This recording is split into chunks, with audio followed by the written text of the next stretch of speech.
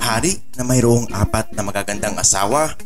Masasabi natin na ang hari na ito ay mayroong magandang buhay dahil sa bukod sa marami siyang mga tauhan na andyan para sa kanya. Andyan din ang kanyang mga asawa upang punan ang lahat ng kanyang pangangailangan. Subalit, hindi sa lahat ng panahon ay Pasko. Darating at darating sa punto na mawawala ang lahat ng ating karangyaan kapag tayo ay mamatay. Alamin sa video na ito kung bakit nagsisisi ang hari sa kanyang naging buhay noong malakas pa siya na siguradong ikakagulat mo. Bago tayo magpatuloy, kung bago ka pa lamang sa aking channel, ay baka naman pwede makahingi sa inyo ng kaunting suporta sa pamamagitan ng pag-subscribe at i-hit ang bell notification para updated ka sa mga bagong uploads ko. Make sure na tapusin mo rin itong video na ito dahil baka isa ka sa mga naka-shoutout sa video na ito. Mayroong isang palasyo na matatagpuan sa mataas na bahagi ng isang bundok. Ang palasyo na ito ay napapalibutan ng matataas na pader at maraming mga bantay. Ang hari na namumuno sa kaharian na ito ay mayroong apat na magagandang asawa. Ang pang-apat niyang asawa ay ang siyang pinakamamahal niya dahil sa ito ang pinakabata sa lahat. Gusto niyang mabigyan ito ng maayos na buhay. Kaya naman, pinilan niya ito ng mga magagarang gamit, mamahaling alas at pinapakain ng mga masasarap na pagkain. Ang pangatlo niyang asawa naman ay ang pinakamaganda niyang asawa sa lahat. Parati siyang sinasama sa paglilibot sa mga magagandang lugar at pinagmamayabang niya ito sa kanilang bayan. Iniikot nila ang mga magagandang tanawin sa loob ng kanyang nasasakupan. Ito parati ang kasakasama niya saan man sila pumunta. Ang pangalawa niya namang asawa ay ang gumagawa ng mga pangangailangan niya sa loob at labas ng kanilang kaharian. Ito ang nagsisilbing kanang kamay niya dahil ito ang kanyang maaasahan sa lahat ng bagay. Kapag hindi maganda ang kanyang pakiramdam, ito din ang nag-aalaga sa kanya at umaalalay sa kanya sa lahat ng oras. Masasabi mo talagang napakaganda ng buhay ng hari na ito dahil bukod sa marami siyang pera, mayroon din siyang mga asawa na mayroong iba't ibang obligasyon upang mapunan ang lahat ng mga pangangailangan niya. Subalit ang una niyang asawa ay ang masasabi nating hindi masyadong napapansin ng hari at kanya itong napapabayaan.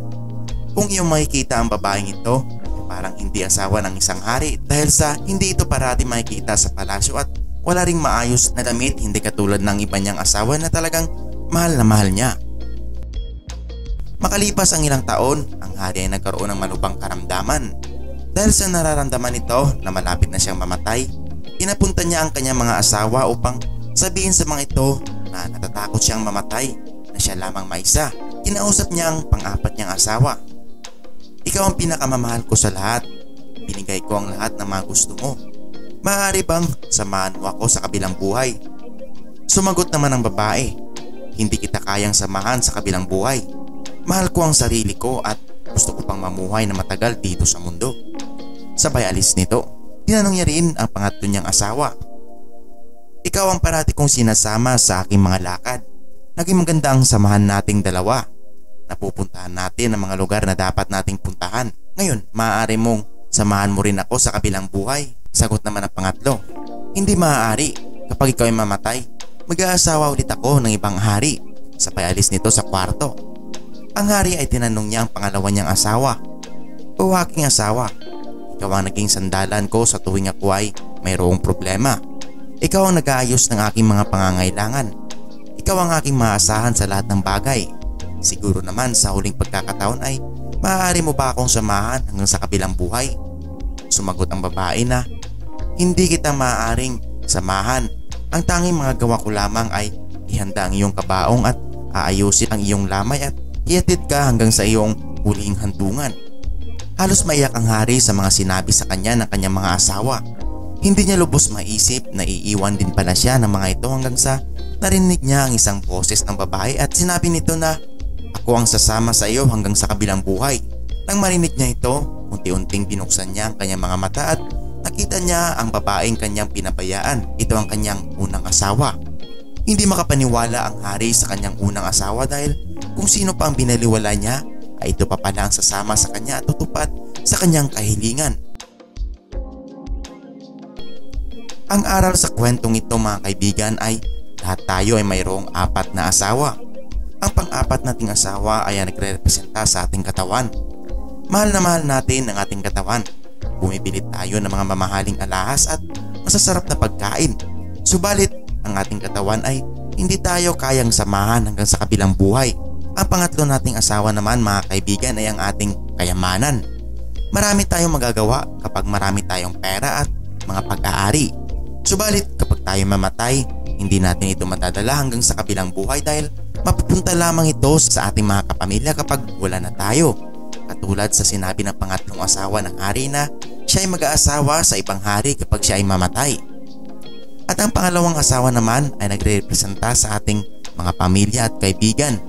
Nariyan sila sa oras ng ating pangangailangan. Subalit, hindi nila tayo kayang samahan hanggang sa kabilang buhay at ang mga gawa lamang nila ay mag-ayos ng ating kabaong at ihahatid tayo sa huling hantungan. At ang una naman nating asawa ay nagre-representa sa kaluluwa o espiritu ng hari. Parati natin napapabayaan ang ating espiritu dahil sa abala tayo parati sa ating mga gawaing makamundo. Nararapat lang naman na pangangalagaan natin ang ating katawan, magparami ng kayamanan at mamahalin ng mga kaibigan at kaanak. Subalit, hindi rin natin papabayaan ang ating kaluluwa dahil ito lamang ang katangit-tanging hindi tayo iiwan. Matuto kang mag-isa upang makapag-relax at mag-meditate at higit sa lahat, magbasa ng Biblia at manalangin sa ating may kapal dahil ito lamang ang makapagbibigay sa atin ng buhay na walang hanggan. Salamat sa panonood at shoutout nga pala sa mga kaibigan natin na patuloy na sumusuporta sa channel na ito.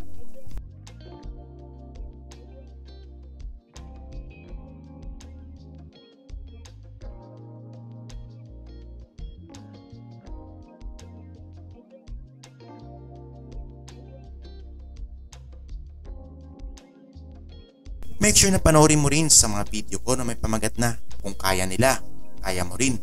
Huwag kang sumuko sa iyong pangarap. Narito ang preview sa video na ito.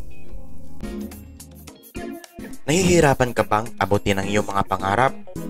Walang magbibigay ng katuparan sa ating mga pangarap sa buhay kundi ang ating sarili lamang.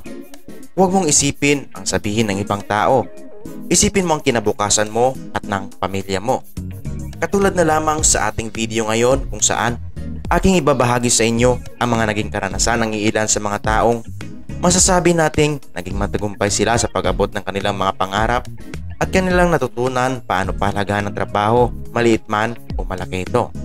Bago tayo magpatuloy, kung bago ka pa lamang sa aking channel, ay baka naman pwede makahingi sa inyo ng kaunting suporta sa pamamagitan ng pag-subscribe at i-hit ang bell notification para updated ka sa mga bagong uploads ko. Make sure na tapusin mo itong video Maraming na ito. salamat sa panonood. Hanggang sa muli. Bye bye.